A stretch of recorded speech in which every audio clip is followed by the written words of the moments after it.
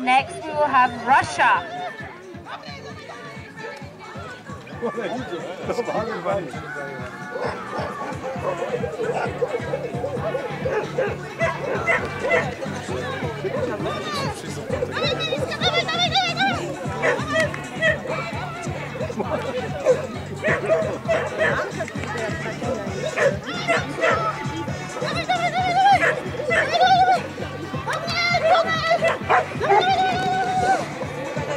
30.